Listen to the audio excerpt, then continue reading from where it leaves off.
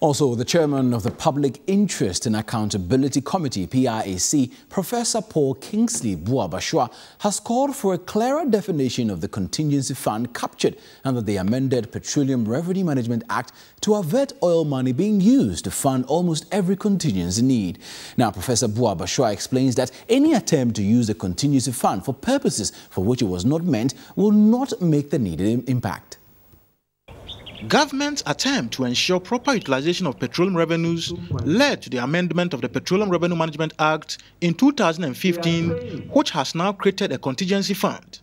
The contingency fund is expected to fund contingency situations, but its open utilization by the Act is what the chairman of the Public Interest and Accountability Committee, PIAC, Professor Paul Kingsley Buah-Bawuah, thinks could be wasteful and must be clearly defined and refocused. The oil money has no boundaries is being used for any intervention.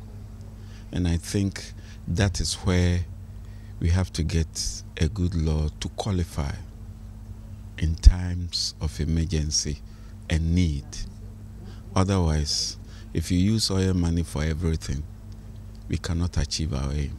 So what I think it should be is if contingency fund, it should be well defined whether on a national scale or on a specific problems that come in line with oil and gas activities. Like the government looked on the Maritime Tribunal for GNPC to pay.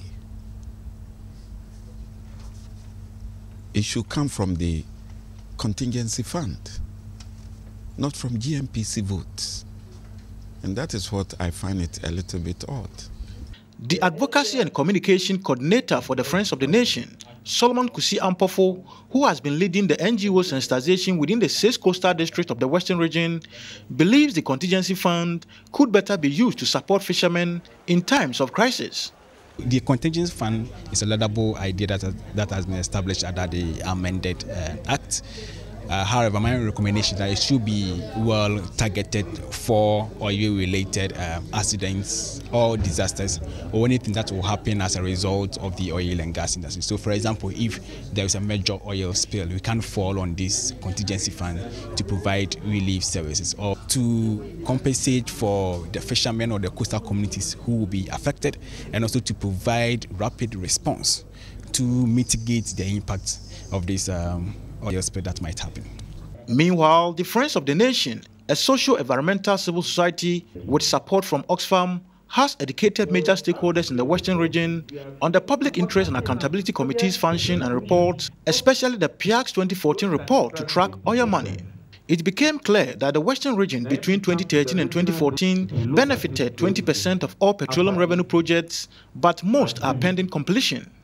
Kwesi Agyei Annim, News, Takoradi.